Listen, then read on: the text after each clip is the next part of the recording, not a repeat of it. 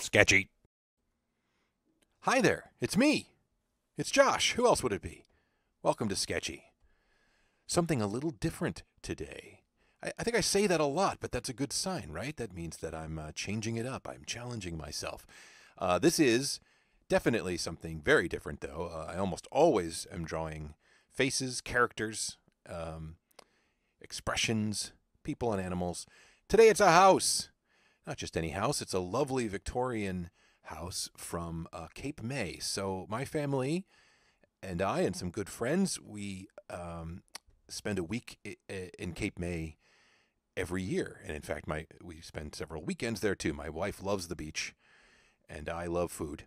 And so we uh, we live in New York. We we hop on the old New Jersey Turnpike and we head down south and we go to Cape May, the very tip, exit zero. And we we we we for years stayed on this uh, one particular street in this one particular uh, Victorian bed and breakfast inn type place. And there was a house on that street that I just uh, say every year, man, I want to, I want, well, what it, what it started as was I want to build that house out of Lego. And I actually had these plans to uh, make a, a, Lego version of this house. And I was thinking about the parts and the colors and all that. I was heavy into Lego four or five years ago. Uh, and I kind of just, I don't know, sized my way out of it. I just, I filled my house with plastic and drained my bank account and I could, I had to stop. Uh, but now with art, uh, occupying so much of my time and energy and focus, I thought, oh, you know what I can do is I can uh, I can draw this house. And I was getting to know Procreate and some of the tools in it. So here I am laying down the rough uh, the rough outlines, uh, trying to figure out a way to, to render this roof. You can see me really uh, uh, struggling a little bit, figuring out how to represent this very interesting honeycomb roof uh, tile, and uh, I don't know, there's probably some fancy name for that. Um, little ambitious for me at this point. Getting back, this is, again, this is a couple years ago, so I was getting back into art after a long time of not exercising uh, those muscles and um, using some of the perspective tools that are built into Procreate.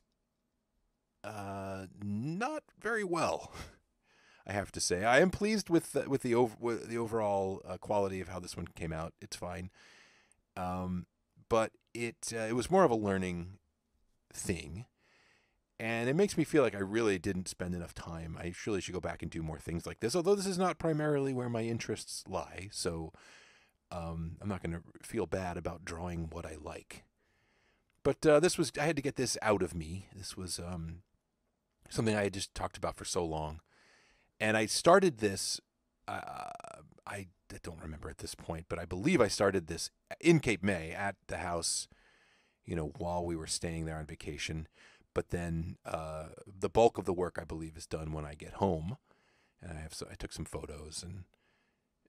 I had already laid down the framework. So I'm making the, the tree pink there. Um, I had a reason for doing that. I don't remember it, but sometimes when you're when you're making a multi-layered piece of art, you want to use uh, strong colors to differentiate things so you remember that they're on a different layer or that you just remember that they exist. Because here I am, I'm kind of creating this house, and then I'm going to draw the tree on on top of it um, on a different layer. Many many layers going on here. Uh, you know, just this is really just an exercise of how much detail to include and how much uh, how impressionistic can you be ultimately just want to suggest this house. I've considered also going up to the door and knocking and, and you know, uh, somehow offering a copy of this to the people who own this little house. It's not an exact representation, but the coloring, it's uh, it's obvious which house this is. Um, but then you know I don't have a physical thing I can just give them, and I don't know if they're if it's going to be confusing to talk about digital files and PDFs or whatever. So I haven't done that. Plus, I'm kind of a coward. So uh, this was a this took hours and hours and hours. You're seeing the sped up Procreate um, export. I don't have an actual screen capture of me working on this. It would have just been too long and tedious. Very interesting to see it played back like this. um, and remembering all the struggles and remembering how um, it came together slowly and how I kept going back and changing some things and I just always struggle with color selection. I have a, you know, when it comes to line art, I can capture, oftentimes, I can capture and maybe even exceed the thing that I see in my head. But with color, that has never been the case. With painting and coloring, uh, that has never been the case. It's always a struggle. It's okay. I am who I am. I, I am the artist that I am. This I kind of I kind of like this dappled shadow effect with the tree. That's why I wanted to include the tree. The tree blocks out some of the the, the elements and details of the house, but it also is just uh, it's what it's like to be there. So I wanted to include it, and I love what it does. The shadows. There's that very specific. I don't know if it's lichen or, or it's not moss, but there's some kind of white fungal scrapings on the outside of the trees there in Cape May. Just a beautiful, beautiful place. Um, now I've added the airbrushed layer of, of, of yellow highlights, kind of the sun washing out the picture. Uh, and it's it's starting to come together. I probably could have worked on it for hours more. I had to stop at some point, but uh, a success in terms of learning, at least. Um, and uh, you know, happy enough with it to share with you. Coming to the end here, so there it is. I thank you for your time, and I'll see you next time.